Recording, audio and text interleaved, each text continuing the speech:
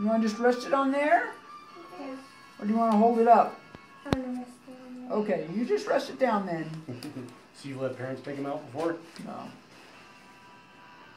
I assume there'd be some kind of legality to that. I don't know if there would be or not, but um, you might be more tentative and cause more pain or who knows.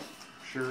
Um, best to just kind of grab them and go. Sometimes they don't come out very easily. Sometimes it's a little bit more pulling. Mm-hmm. So Leave it to the pros. it's like it's not much of a it's not much of a deal. Okay, you're gonna feel this a little bit. Okay, big deep breaths.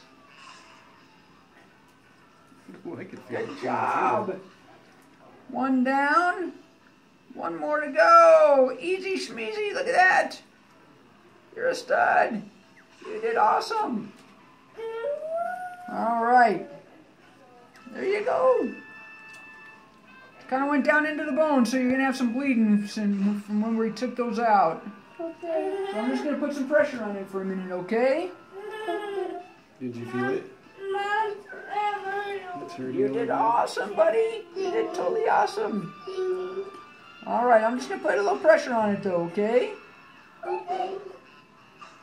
You're a total stud, Mr. Batman. Or are you Wonder Boy?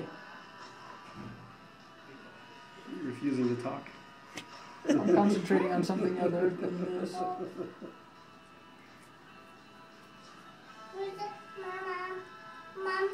Hello. Mom. You're running into the wall. Sidewalk. You're